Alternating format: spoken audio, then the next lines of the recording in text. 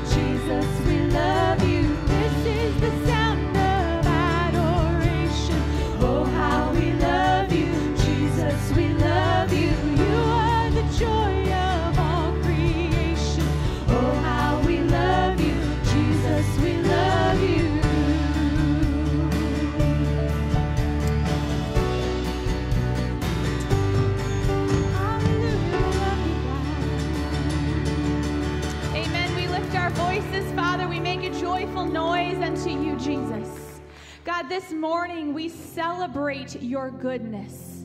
God, we celebrate how you have been with us and walked with us in this past week.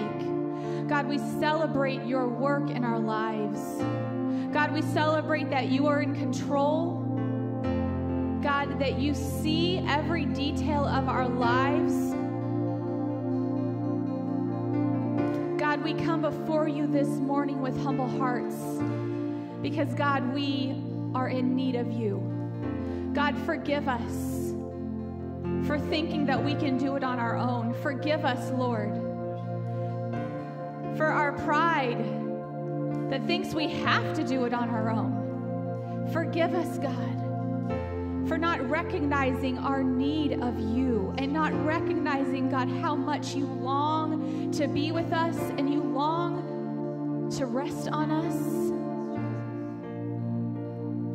God, we humble ourselves before you this morning.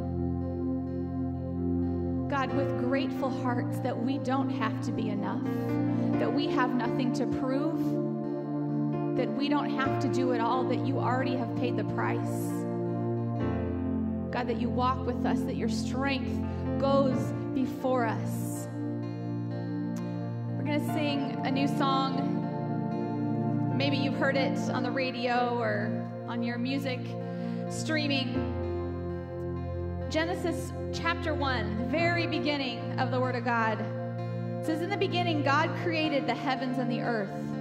Now the earth was formless and empty. Darkness was over the surface of the deep, and the Spirit of God was hovering over the waters. There's one translation of Scripture that talks about the Spirit of God hovering over the chaos. How many of you feel like there's some chaos in your life this morning? This is the truth. This is the word that the Spirit of God hovers over us, that He hovers over our chaos. And then in verse 3 it says, And God said, Let there be light. And there was light. At the right moment, the Spirit of God breaks into our lives and He breaks into our chaos and He brings order to it. This morning, we're going to sing about the Spirit of God resting on us and His Spirit hovering and moving in us. And then when we fast forward, like in the Old Testament, there's always a complement in the New Testament of God bringing fulfillment. So what happens in Acts 2? In Acts 2, the Spirit of God comes over the people of God with fire and wind. And all of a sudden they see and they understand in a new way what God did on the cross for them and what that meant and what they had just walked through. The Spirit of God is active and alive and moving. And I encourage you this morning to let yourself just rest in Him, feel His presence hovering over you, and ask Him to break into your chaos and ask Him to show you where His Spirit is in your life and how He is moving.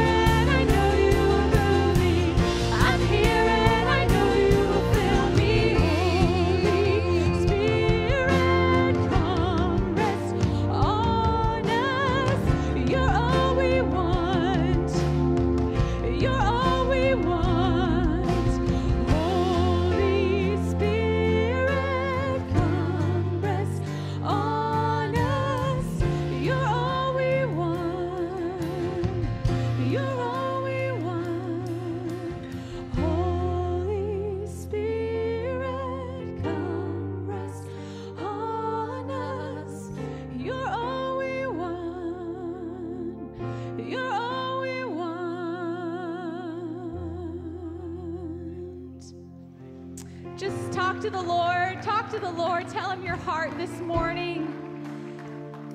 Make your heart soft before his presence. Make your heart soft before his spirit.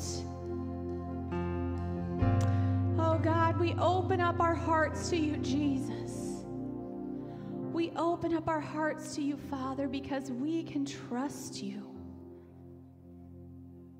We can trust you, Lord. Soften our hearts before you this morning, Jesus.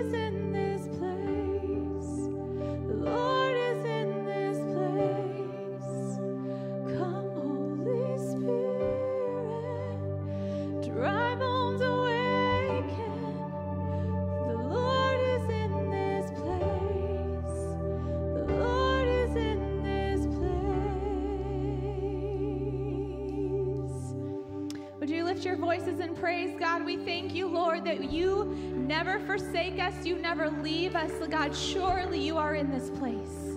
God, surely you walk with us. Your presence goes with us. It hems us in. It is before us and behind us and beside us, above us and underneath us, God. Thank you for sending your spirit to always be with us, Jesus. Thank you, Father. Hallelujah, hallelujah. Amen.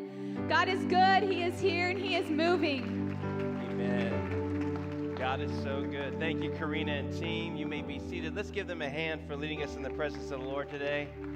Doing a fabulous job. And uh, of course, Britt is on vacation, but I'm so thankful for this wonderful team that has led us in the presence of the Lord. And we're going to continue to worship the Lord in, at the conclusion of our service. But just want to let you know of a couple of things real quickly. This coming Thursday, of course, is the memorial for Ron Rogers, and it'll take place here at 1030. There'll be a reception to follow, and so you're more than welcome to join us for that. And we know that there'll be uh, Navy SEALs and others uh, from the Navy that'll be here. As a matter of fact, there's going to be a big motorcycle uh, brigade that's going to go from here to Miramar because, of course, Ron loved motorcycles and so forth. So it's going to be a great event, a great memorial, I should say. And we hope that you can join us for that uh, this coming Thursday at 10:30. Well, I'm excited to be with you this morning to preach God's word as we begin this new series on the book of Jonah. And I'm titling this series "When You're Finished" because there's times that a lot of us we have those Calgon take me away moments, and a lot of times when we're finished, I want you to understand something that God is not. God is not finished when we're finished. And today I want to talk about you can never outrun God. You can never outrun God. And so some people when they when they look and they read the Bible or they hear uh, messages or teachings about the Bible, a lot of times people just think it's just a collection of fairy tales. Uh, they, most people think that these events that we read about are just nice stories with good morals and and uh, like we read about in the book of Jonah with the whale. But in 1891, I don't know if any of you were around back then. Don't raise your hand if you were. But in 1891, off the Falkland Islands, there were two fishing boats and, and th- that were whale hunting back in those days before Greenpeace or anyone would have a hard time with that. But they came across this huge sperm whale, and one fishing group shot harpoons into the whale, and another boat came around and began to do the same thing to get this whale. But this whale's tail was so powerful that it ended up hitting the second boat and it knocked it over. And there were two men that were aboard that second boat, and unfortunately, one of the men drowned, but the other one they could not find. A couple of days later, there was another boat that went out and, and found the same whale and ended up killing that, that whale. Well, what ended up happening is they brought it back to the shore, they slit it open, and they found the second man two days later. And he was unconscious, but he was still alive. And after care, he resumed his life. Now, recently, maybe you heard about a guy named Michael Packard. If you haven't, let me tell you about it. What happened on Friday at 8 a.m., a veteran lobster diver named Michael Packard entered the water for a second dive near Cape Cod. He was a licensed commercial lobster diver, and he literally plucked lobsters off the sandy bottom. And, and Packard, who was 56 years old on that Friday morning, saw a school of sand lancers and stripers swimming by him, and the ocean food chain was in full evidence as he was surrounded by it. But uh, about 10 feet from the bottom, Packard suddenly knew that it was tr- what it truly felt like to be a part of that food chain. And in something truly biblical, Packard was swallowed whole by a humpback whale. This is what Packard said. Maybe you heard about it, and I quote. He said, All of a sudden, I felt this huge shove, and the next thing I knew, I was, it was completely black. I could sense I was moving. I could feel the whale squeezing with the muscles in their mouth. I thought to myself, There's no way I'm going to get out of this whale. I'm going to die. I'm done. I'm dead. And all he could think about was his two boys, who was 12 and 15 years old at the time. Outfitted with a scuba gear, he struggled and the well began shaking its head, and Packer could tell he didn't like it, but he estimated that he was in the well for about 30 to 40 seconds. How many of you would just love to be in a whale's mouth? There's no one would want to do that. And Packard said, I saw light. And he started throwing his head side to side, and the next thing I knew, I was outside the water, and that's a miracle. And that, isn't it interesting, talking about timely thing as we begin our series on Jonah? When I heard about this story, I got about four text, uh, Facebook messages. Pastor, look at this. Did you hear about this? Talk about timely message and all this stuff. So it, I want you to understand that this book is not a book of fairy tales. It's a book of life. It's a book of truth. It's a book of reality that sets the captives free. Amen. Aren't you so thankful for the Word of God this morning that we will dive into? and dissect in just a moment. But before we get into Jonah chapter 1, I want to ask you a simple question. How many of you in this room have ever run away from home as a teenager or a kid? Maybe you're in this room and you've run away from home as a teenager and as a kid, and, and uh, or perhaps you know someone who's run away as a teenager or a kid, or perhaps you know someone that's run away from their marriage or their job or going to school or dealing with a tense situation with a friendship and just decided to run away from that relationship. And I'm sure we all know someone in this room who's either run away or, or, or, or from, a, from their house or, or from a circumstance or whatever it may be. I mean, I remember one time I was staying at my Thea Elida's house with my cousins Christopher and Melissa, and of course I was probably about six or seven years old, and my Thea made me take a nap. And I, how many of you just love taking naps when you were a kid? Not a lot of us. No one likes taking naps. I mean, now we're older and we wish we could take a nap, amen? But I remember that she made, it, made me take a nap. And I was so angry. I was so mad. I was so frustrated by her that I decided to do what only, what only one person could do as a six or seven year old. I decided to escape from Alcatraz. I decided to run away. Now, uh, where my Thea lived to where my parents lived, it was probably about from here to the 7 Eleven over there by Lincoln Housing, if, if many of y'all know where that 7 Eleven is at It doesn't seem that far of a walk, but think about a six or seven year old walking from here to there. And for me, I thought I was going from like San Diego to LA. And I remember I was halfway towards my house and I was crying. I was miserable. I wasn't anything like that picture of that cute little girl with her teddy bear and her, her luggage leaving or going, or running away or doing whatever she did or things that we see on TV. I was miserable. And I'll never forget that my mom ended up in her 65 Mustang and stick shift and so forth and pulled over to the side and she saw me and she's like, Troy, what are you doing? Like, I don't want to take a nap, you know. And so I ran away and I wanted to do my own thing, but I wish I would have stayed in bed because I'm miserable and I'm, I'm, I'm frustrated and I was just, I hated it.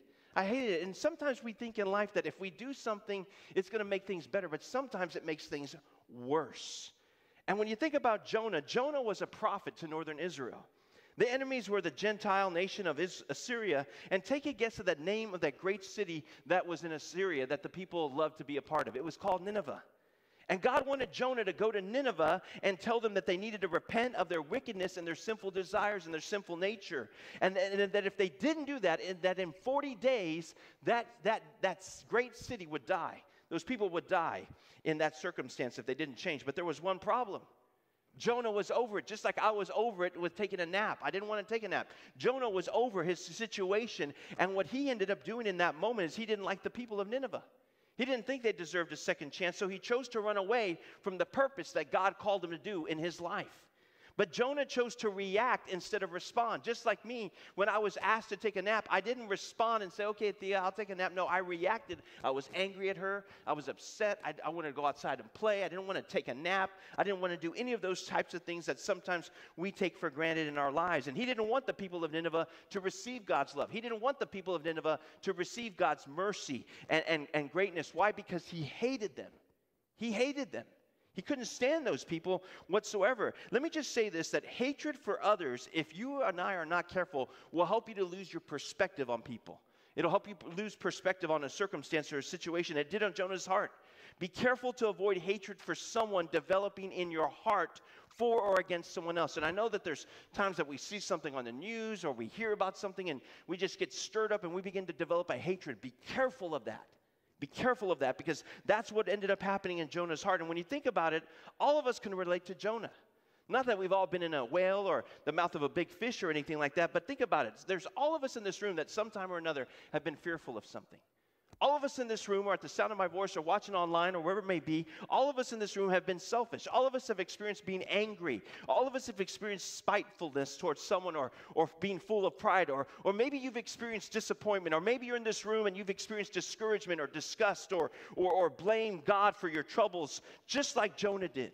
So we read in Jonah chapter 1, verses 1 through 3, it says this The Lord gave this message to Jonah, son of Amittai. Get up and go to the great city of Nineveh. Announce my judgment against it because I have seen how wicked its people are. Listen to this prophet of God. But Jonah got up and went in the opposite. Everyone say opposite. He went in the opposite direction to get away from the Lord. That's got to be one of the saddest statements in the Bible. He chose to get away from the Lord.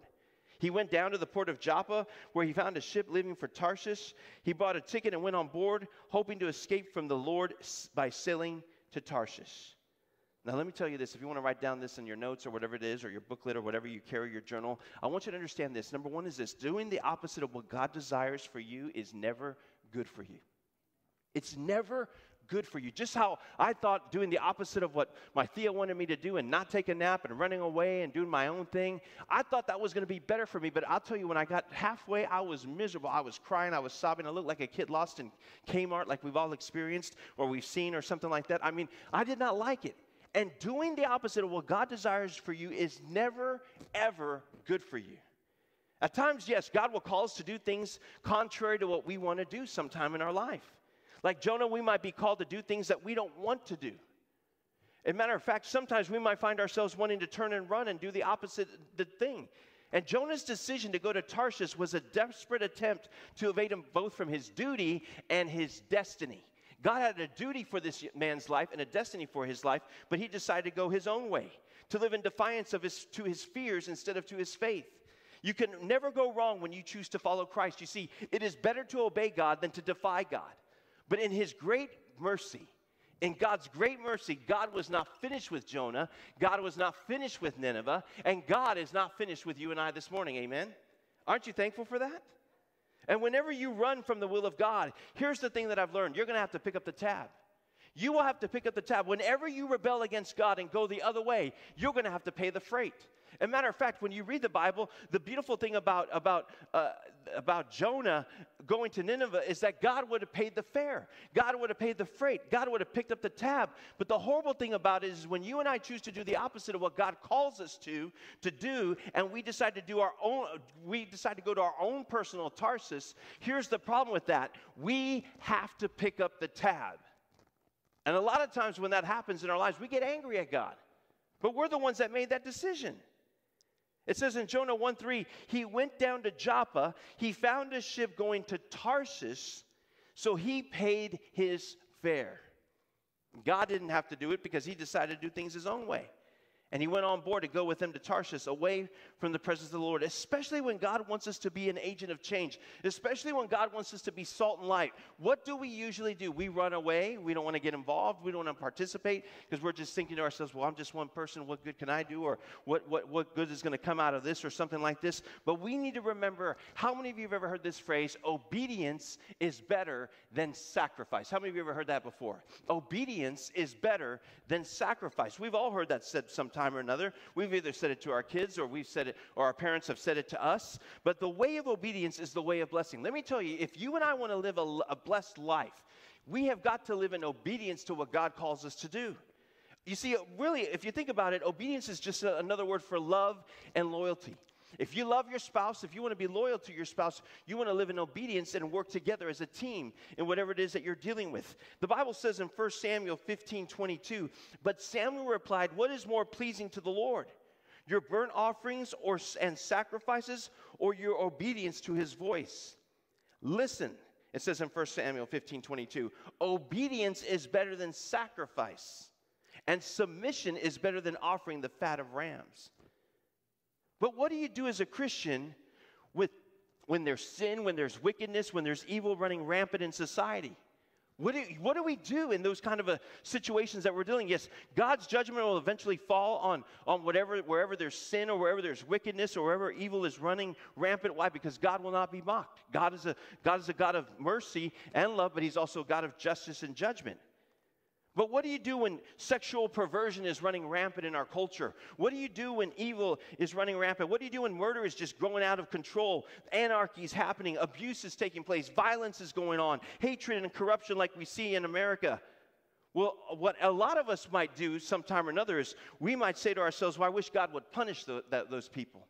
I wish God would get that group. I wish, I wish God would do something to their rampant sin and their hate filled lives. But what do you do if God told you to go to them and give them the gospel?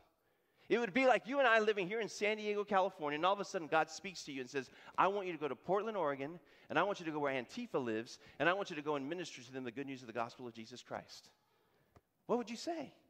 Willis, what you talking about? You know, like the old different stroke days back in the days. No. I mean, some of us in this room wouldn't do something like that.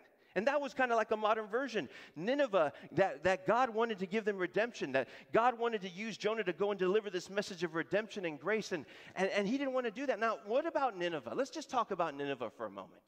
Nineveh was a particularly important city back in those days, and it was the rising world power of Jonah's day. And unfortunately, the Assyrians were an evil empire. They were an evil empire and they were Israel's most dreaded enemy. That is why Jonah hated Nineveh. He, he, developed a hatred for them. He lost perspective about those Assyrians. Why? Because they were prideful people. They were cruel people. They were people, uh, the people of Nineveh were guilty of evil plots the, against God. They were full of idolatry. There's, they, they, they, prostitution ran rampant in the, in the society. Witchcraft was, was like their religion, and they took advantage of the helpless and the hopeless, and they exploited those people that they fought against. And so, why would you want to go and tell someone like that about the good news of the gospel when they're, they're your enemy? But even when God sees the misery of humanity, even when God sees the troubles of sin, even when God sees the difficulty of a society and he sees the devastation of a nation, God is still concerned about those people and about that country and about that region, even if it's far removed from God. That's the God we serve. Things were so bad in Nineveh that it got God's attention. And let me tell you something this morning. You might think that America's going to hell in a handbasket or something's going on in our culture and our society. Let me tell you, we're no different than Nineveh was to here in America. God has the attention of this nation, and God is now finished with this nation. Amen. It is one nation under God, and we need to remember that this morning. God is in control, He has a plan. No one deserved God's favor, especially the people of Nineveh. They didn't deserve it. But there is something to be said about our God. God is a God of mercy. God is a God of grace. God is a God of a second chance, not only for Jonah, not only for the people of Nineveh, not only for you and me, not only for our nation, but for the entire world. Think about this. Jonah wanted vengeance, he wanted death for his enemies. But God wanted restoration, God wanted forgiveness for them. Think about this prophet. He wanted, Jonah became self centered, lacking in compassion for others, but God still loved them and had redemption and wanted everyone to experience redemption. God deeply cares for us as well, for as his people. Uh, we, you know, whether we resent, resent people or dislike people or hate people, God cares deeply for everyone. Everyone say everyone. He cares deeply for everyone. Let me tell you something, friends. When things are so bad, God still desires to intervene and save us. Aren't you thankful for that? Think about Jonah. We're going to read more about it in verses 4 through 17. But he could have thrown him over. He could have had a great white take over and devour him, but he, he didn't do that. God still intervened. And we need to remember that the gospel of Jesus Christ is for all who choose to repent of their sins, for all who choose to place their trust in the Lord, who all who choose to put their faith in Jesus Christ. God wants us to be concerned for all people, not just those that are found, not just those in the four walls of the church, but those outside the four walls of the church, those that are lost. Because every single one of us, when I ran away, I was lost. I knew how to get home, but I felt lost. I felt vulnerable. I felt ashamed. I felt like, why did I do what I should have not done and stayed in bed and just tried to take a nap or count sheep or whatever it may have been? I wanted to be my own boss. I wanted to be my own Lord in that situation. And just like all of those of us that have been lost or have been found, we need to remember that Christ's cleansing power is so phenomenal that it can remove the most stubborn stains in our hearts and our lives that have been full of sin. How many of you in this room have maybe tried to get out a stain? You've done everything. You put salsa on it, dynamite. No, I'm kidding. You know, you've done all these things and you can't get rid of the stain.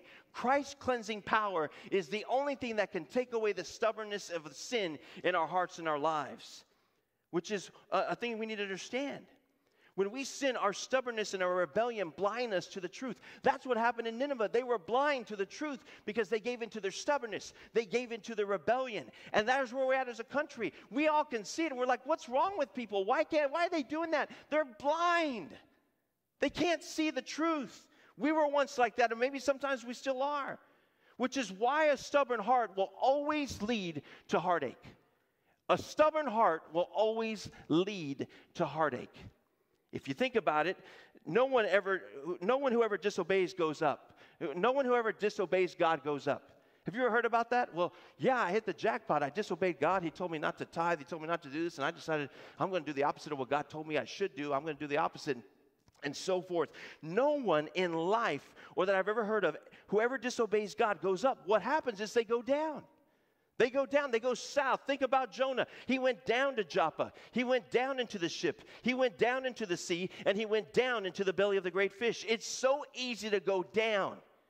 It's so easy to get off the right path. It's so easy to fall into sin, but the road back is difficult. The road back can sometimes be narrow, it can be painful. But for some odd reason, Jonah wanted to go somewhere where God was on the, wasn't on the radar. He wanted to go somewhere far from him. And Jonah discovered what happens when someone refuses, refuses to get rid of stubborn, a stubborn attitude in their life. God caused a great storm that landed Jonah in the great fish. When we do our own thing instead of God's thing, we end up learning the hard way. I remember there's a song from DC Talk, and it said, Some people just got to learn the hard way. They decide that they just want to do it on their own. And, and what ends up happening is they end up learning the hard way. Jonah wanted to be in control, he wanted the remote. He took it from God's hands and said, No, no, I'm going to do it my way, not your way, in that situation, in that circumstance. And as soon as you take the remote from your life from God, you will not know God as the Lord of your life because you want to be in control. You want to be in charge. And for Jonah, he ran away and it cost him. Not only did he have to pay the fare, but we're going to read about more things that happened. And because of his rebellion, things went from bad to worse, not only for him, but his disobedience ended up hurting others around him. It's a domino effect. And he and the ship's crew ended up in this horrific storm. So we read about it in Jonah 1 4 through 17, and it'll, be up on the screen, or you can turn in your Bible there. And it says, But the Lord hurled a powerful wind over the sea, causing a violent storm that threatened to break up the ship apart. Fearing for their lives, the desperate sailors shouted to their gods for help and threw their cargo overboard to lighten the ship. But all this time, Jonah was sound asleep. Oh, he must have had a my pillow. He must have had a my pillow topper, you know. He was sound asleep down in the hold, so the captain went down after him. How can you sleep at this time like this? He shouted, Get up and pray to your God. Maybe he will pay attention to us and spare our lives. Verse 7 Then the crew cast lots. They had a little Vegas moment. They cast lots to see which of them had offended the gods and caused the terrible storm. When they did this, the lots identified Jonah as the culprit. Verse 8, why has this awful storm come down to on us? They demanded, Who are you? What is the line of work? What country are you from? What is your nationality? And in verse 9, Jonah answered, I am a Hebrew. I worship the, the Lord, the God of heaven, who made the sea and the land. The sailors were terrified when they heard this, for he had already told them he was running away from the Lord. Oh, why did you do it? They groaned. And since the storm was getting worse all the time, they asked him, What should we do to you to stop this storm? Throw me into the sea. Jonah said, and it will become calm again. And I know that this terrible storm is all my fault. Instead, the sailors rowed even harder. They didn't give in to his demands. They rowed even harder to get the ship to the land, but the stormy sea was too violent for them and they couldn't make it.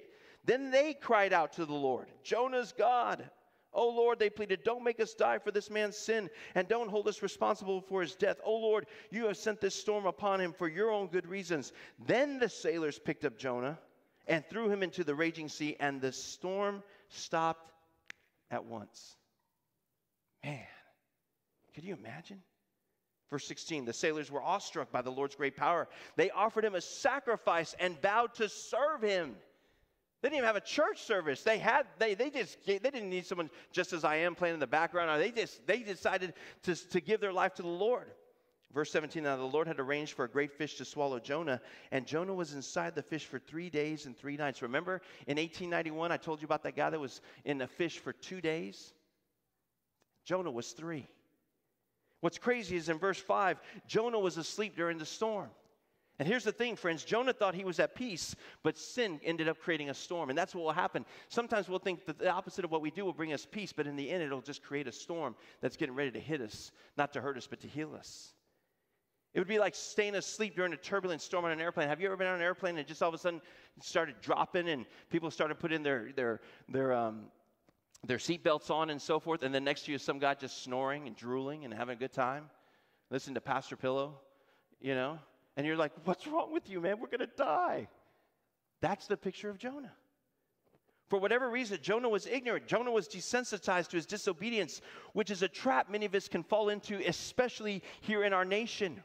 We cannot sleep when we need to wake up. We cannot sleep when there needs to be change in our culture. We have got to rise up. Why? Because obedience is better than sacrifice. I would rather be a fool in the eyes of man than a fool in the eyes of God. We have got to do what God calls us to do, no matter what man says or what man may do to us. Have you ever thought to yourself, why do people run away from God? Why do people run away from God? Because, as a matter of fact, I think the, when God gets a hold of us, it's not to hurt us, it's just to love us, it's just to heal us, it's just to set us free. But why do people run from God? You have grandchildren that have run from God. You have sons and daughters that have run from God. Maybe you have a spouse or someone that you know that has run away from God. But why do people run away from God? It's because there's anger in their hearts. There might be disappointment. There might be despair. There might be disobedience. Or there might be a rebel rebellion uh, from someone's self centered desires. Or there might be a hurt and wounded spirit that they thought God was going to do this or that. And He didn't do that. And they did this. And they gave. And they got involved in church. And they served. And things went from bad to worse. And so they just walked away from him. Chuck Swindoll said this, and I quote He said, The rebellious prophet Jonah must have wondered, Can I find any place that will remove me from God? Can I just find a place? And he found out the hard way. And the answer was an emphatic no. No way, Jose. There's no way you can find a place that will remove you from God. Why? Because the Bible says in Psalms 139 7, it says, Where can I go from your spirit? Or where can I flee from your presence? You see, church, we need to remember today and always that God is so close, you can't get away from Him. God is so close to you. That means He's near you today. And I don't know what you're facing or what you're going through, but He's beside you right now because He's omniscient. He knows what's going on, and He's not a do nothing God.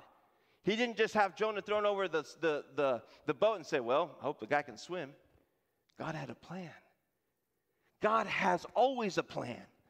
And you and I need to remember that. Jonah thought he had run away from God, but he forgot something. You can't run from God without running through him and winding up running toward him in that circumstance. Jonah was trying to go 2,000 miles west to Tarshish when he was supposed to go 500 miles east to Nineveh. Think about that. You have a 500 mile trip to go, and you decide you want to go 2,000 miles more. That's what Jonah did. When you run from God, the trip is always longer.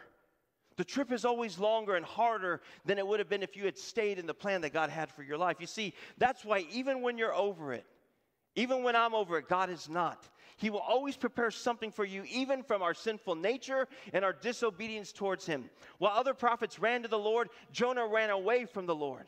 Even though Jonah abandoned his mission, he was one of the most prejudiced, bigoted, open, rebellious, and spiritually insensitive prophets in Scripture that you can read about. But God still had a plan for Jonah's life. God still had a plan for Nineveh. God has a plan for your life. He has a plan for this city. He has a plan for this state. He has a plan for this nation. He has a plan for this world. God has the whole world in His hands. Somebody give Him glory this morning. We need to remember that. God can even use our mistakes to help others to know Him. Look at verse 16. We see that even the ship's crew worshiped God when the storm calmed down. These pagan sailors vowed to pray to God and to serve Him. God can turn our messes into miracles, just like He did. Like Jonah, the key to moving forward, though, from our mess begins when you and I choose to become responsible. We become people of responsibility. Everyone say responsibility responsibility. In verse, John, in verse 9, Jonah told them who he was. He told them who he believed in while in the middle of the mist, in the middle of the storm. He could have made up a story. He could have made up a fib. He could have made up a half truth or whatever. But don't be reluctant to what God asks of you. But rather, you and I have to become responsible. We have to become responsible, even if you went through a moment of disobedience toward God. You and I, if we're going to move forward, we have to become people of responsibility. Jonah learned it's better to obey God more than anything. He stopped and he submitted to God. If you want more of God's love, if you want more of God's power in your life, you must be responsible to what He's called you to. You see, Jonah had an aha moment. I don't know if it was when he was seeing the surroundings of the storm. I don't know if it was when he was thrown in the water. I don't know if it was when he was inside the great fish. But somewhere he had an aha moment and he realized what he had done. He owned up to it. He didn't blame the government. He didn't blame his church. He didn't blame this person or that person. He fessed up and said, The buck stops here. He realized what he had done. He realized the mess he had created, and he knew where he was at. And he knew that he had disobeyed God to what God called him to do. And we must do the same thing. And that is take time to examine where we're at. Maybe being three days in a fish may help to examine where he was at. I don't know. But because before you find your way out, you got to determine where you're at. You got to know where you're at this morning because only once that is accomplished are you ready to start. Are you ready to restart your journey like Jonah was? You see, if God can take a disobedient prophet and turn him around and set him on fire spiritually. He can do the same for you. He can do the same for me. He can do the same for our nation. He is especially at making something useful and beautiful out of something that is broken and confused. Is our nation confused? Is our nation broken? Absolutely. But God can still, in the midst of that, make something useful and make something beautiful out of it. Amen. Aren't you thankful for that today? The question is this, friend where are you? Where are you?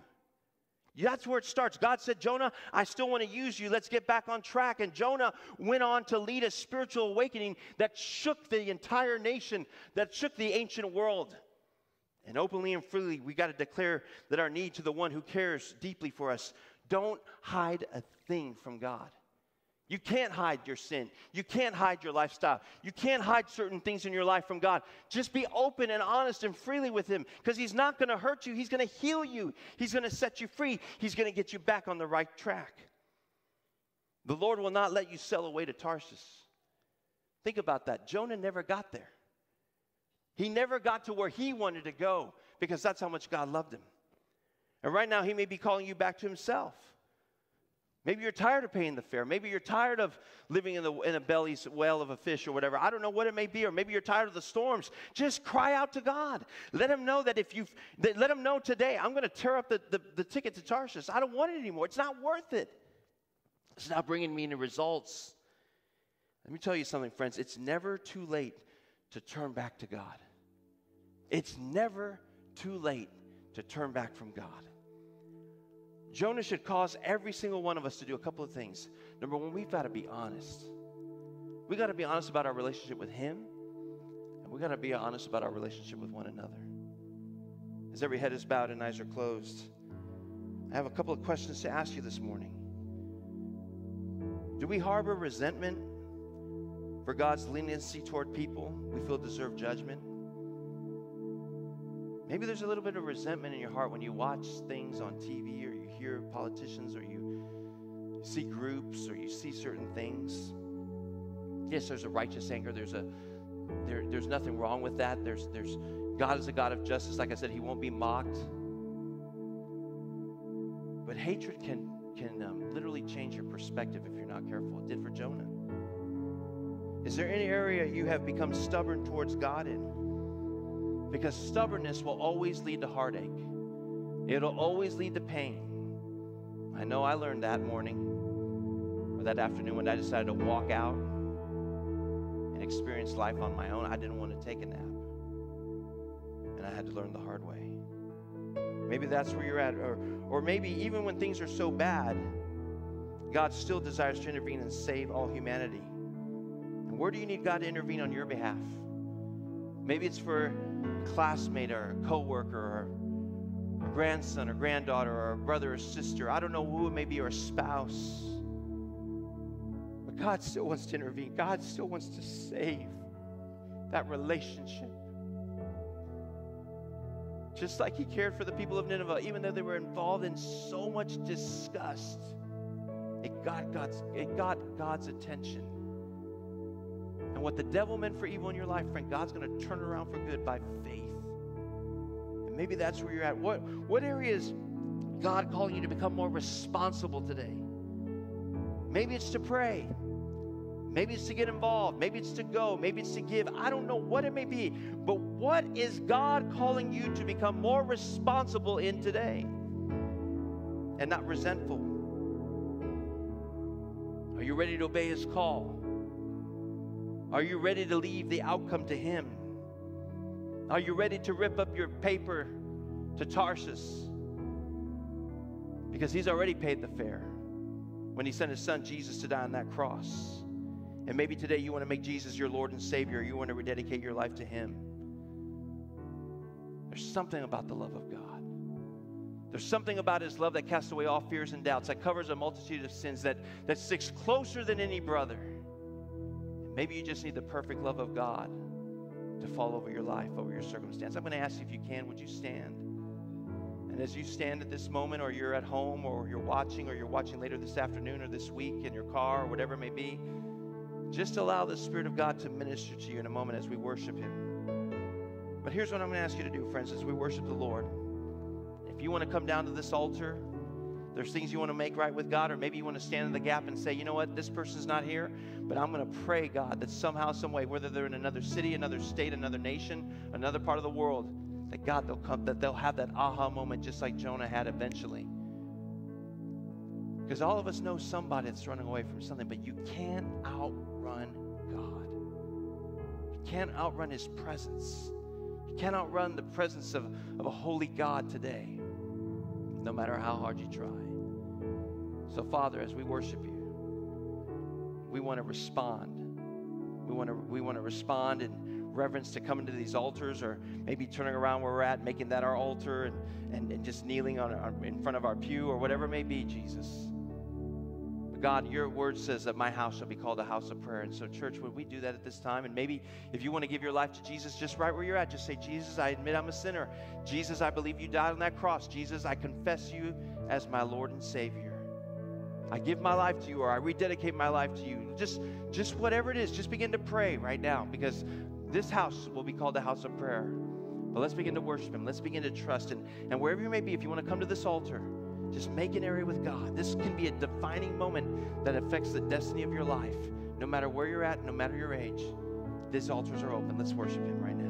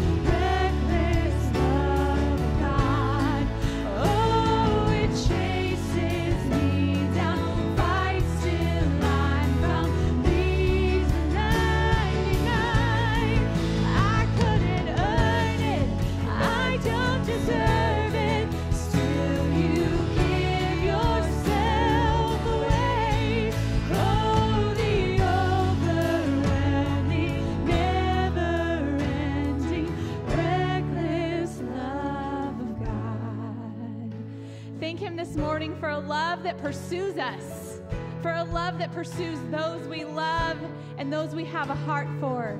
We thank Him for His love that chases us, that keeps fighting for us, and won't back down. Amen.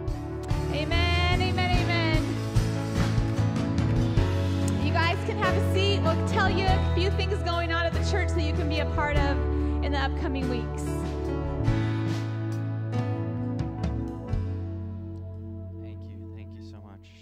Pray us out as there's still people in the altar. I want to be sensitive to that. Thank you, Lord, so much for meeting us where we are.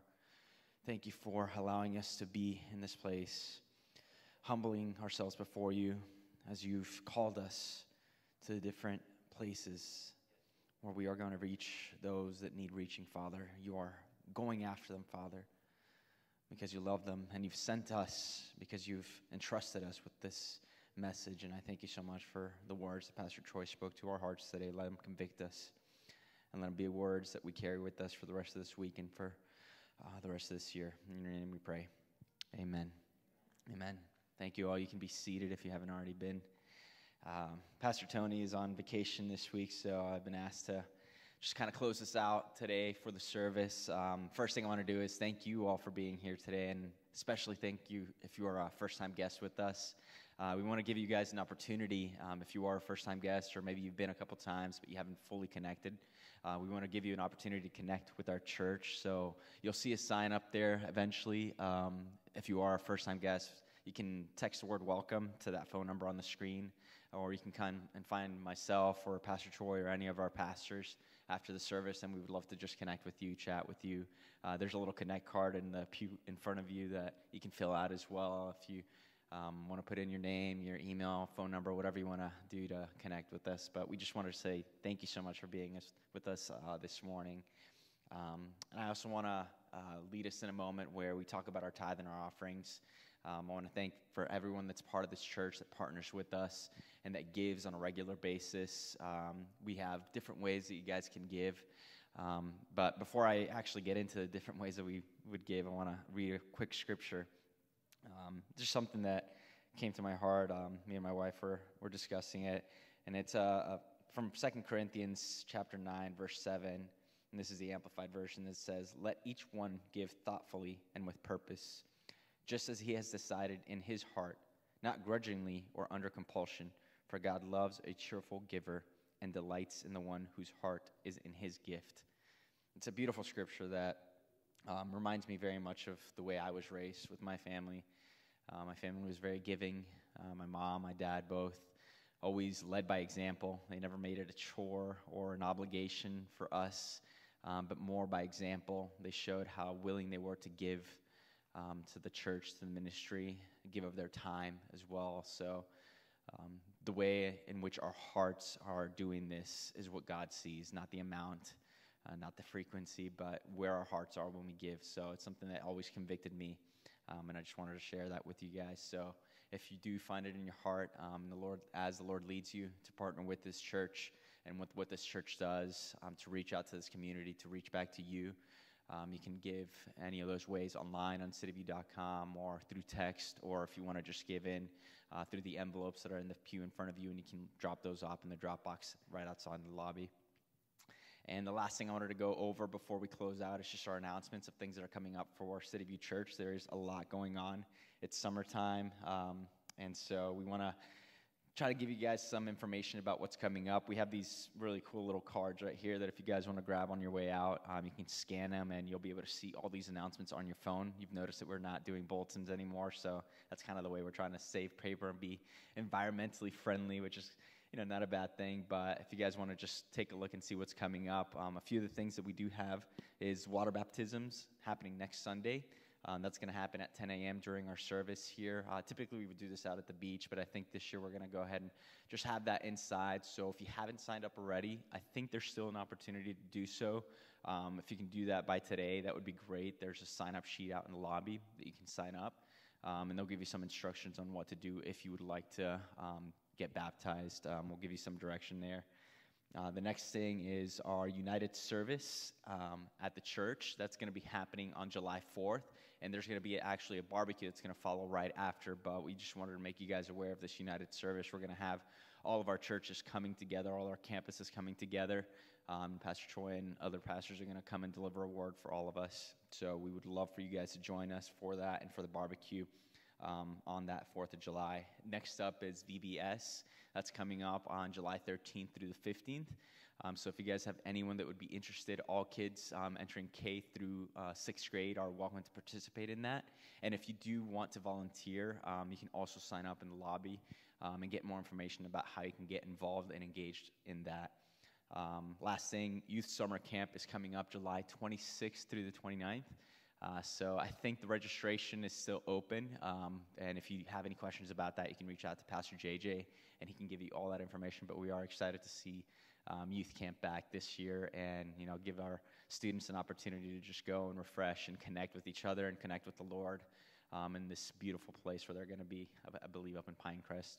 And last thing, we do have summit service tonight. I'm the summit uh, director, so we're excited to meet with our students tonight um, and just have a great word and um, some time of communing together. So hopefully, if you are a young adult or know someone of young adult, you can join with us tonight at the Student Center, 6 p.m. So, with that, that was a lot. Hopefully, you guys caught on to all that. Um, if not, again, you can look in the announcements and just see what's going on in the church. We want you to be part of that. We want you guys plugged in and you know feeling like this is community. Um, so, let me close this out and uh, dismiss us for the day. Thank you, Lord, so much for the opportunity of being here. Thank you so much for the blessing that we have um, in this nation to just openly worship you in this beautiful place, in this beautiful church, to come together as a community where we can lift your name, um, be encouraged by your word, and then go out and encourage others with that truth that is in us. Um, that comes from you, Father. So I just thank you so much for every single person in this room, every person that's watching online, every person that will watch this later, um, that you will bless our lives, but that you will also encourage us to continue fighting on, Father, to challenge us to do the things that you've called us to do. Lord, be with us, be with our families. And we pray all these things in your name. Amen. All right, everybody, have a blessed Sunday, and we'll see you next week.